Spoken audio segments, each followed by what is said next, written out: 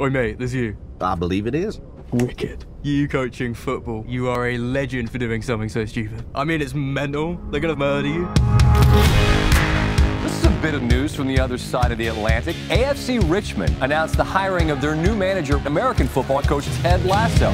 You're an American who's now in charge of a football club despite possessing very little knowledge of the game. Oh! I know that AFC Richmond is going to give you everything they got, win or lose. Or tie. Right, y'all do ties here. Did you see that? He must be from England, yeah? Wales. Is that another country? Yes and no. How many countries are in this country? Four. Like it or not, Richmond are changing the way we do things. And from now on, that way is the Lasso way. Hey, look, this car's got an invisible steering wheel.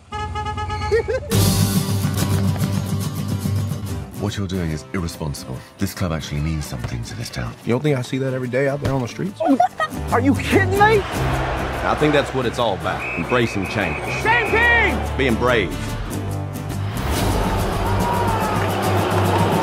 Your decision to bench Jamie was a masterstroke. I don't think we're allowed to talk like that at work anymore. For me, success is not about the wins and losses. It's about helping these young fellas be the best versions of themselves on and off the field.